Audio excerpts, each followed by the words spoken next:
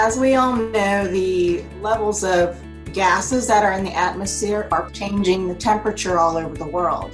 Those temperature changes cause major issues with weather and how unpredictable it can be and the extreme events that we're getting. But temperature changes also mean that we're changing how our plants grow and how pests, disease, and weeds spread. And all of these things have a major impact on how our farmers are farming their land. So we can address these things in agricultural lands because it's the largest land base that we have to store carbon.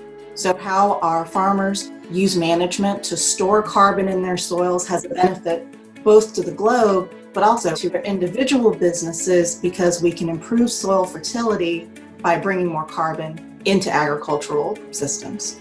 So, one of the great things about USDA ARS is that there's a national network of different sites and experiments where we look at ways of increasing carbon back into our soils. One of the ways we do that is by looking at different treatments. For example, we, we might use more conservation practices that mimic what actual producers use. And we then monitor our soil changes, particularly how our carbon changes in the soil over time.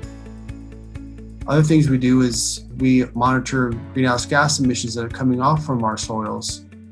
We also look at how fertility changes and how different crop rotations impact changes in our soil carbon as well. I think it's important that our farmers have the tools to be able to deal with these problems. For many, many years, our farmers have very proudly fed the world.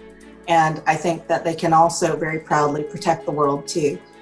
I think in the future, we're looking at more and more technology to help us solve these problems. So we're moving into what we're calling a digital age of agriculture that will be able to use big data sets, artificial intelligence, and machine learning to really look at things not only at a finer scale within the field to manage within the field with precision ag techniques, but also to look at the landscape level and look farther out beyond the farm so that we can really target practices on the landscape to help protect our water quality and air quality.